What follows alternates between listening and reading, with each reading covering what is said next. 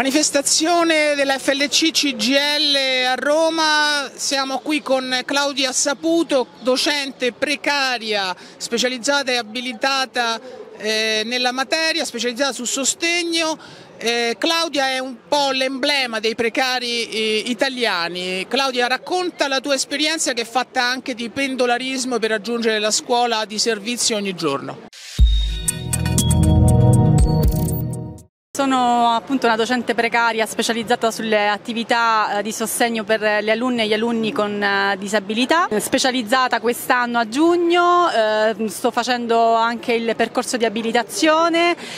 sono precaria da 5 anni, vivo a Roma ma lavoro nella provincia di Latina e, quindi sono pendolare, eh, cerco di conciliare tutto, formazione, lavoro, da mamma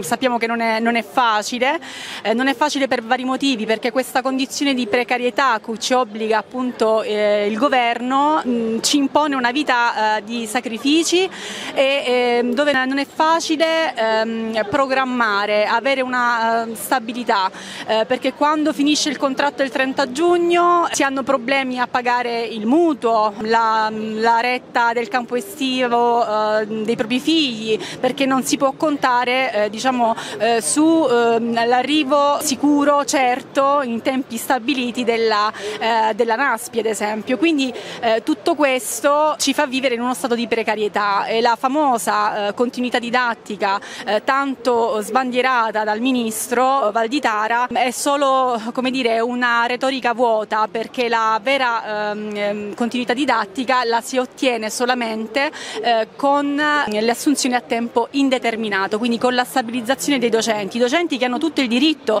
eh, di essere assunti eh, perché docenti come me ce ne sono tantissimi che sono specializzati, abilitati, eh, hanno anzianità di servizio, stanno nelle graduatorie di prima fascia ma tutti gli anni fanno fatica a prendere un incarico per, eh, per un algoritmo che a volte eh, gira come mm, secondo insomma, dei principi che non sempre come dire, una macchina si può inceppare no? quindi tutto questo è un'ingiustizia. Io vengo da un'altra un'altra professione e ho sempre avuto eh, diciamo eh, l'idea di insegnare, mi sarebbe sempre piaciuto, quindi non appena ho potuto eh, ho mollato il vecchio lavoro per provare appunto ad insegnare. Dico provare perché non, non l'avevo mai fatto e eh, avendo fatto l'esperienza non ho più lasciato a costo di sacrificio appunto. Ne vale la pena? Sì. Il problema appunto diceva bene è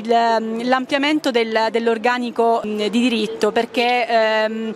tutti gli anni ehm, in sostanza vengono dati questi incarichi in deroga proprio perché l'organico non viene ampliato da tempo. A proposito di questo io volevo ricordare come, che la FLC CGL che eh, da marzo mh, mm, con noi e al nostro fianco eh, durante tutte le nostre manifestazioni, tant'è che abbiamo ottenuto a maggio mm, l'assunzione da prima fascia GPS grazie alle proteste supportate dalla FLC, eh, volevo ricordare che la, appunto la CGL CGL FLC ha eh, realizzato una piattaforma, si chiama Zero Precarietà, dove eh, praticamente è proprio un piano per ampliare l'organico eh, di diritto e questa è la cosa fondamentale.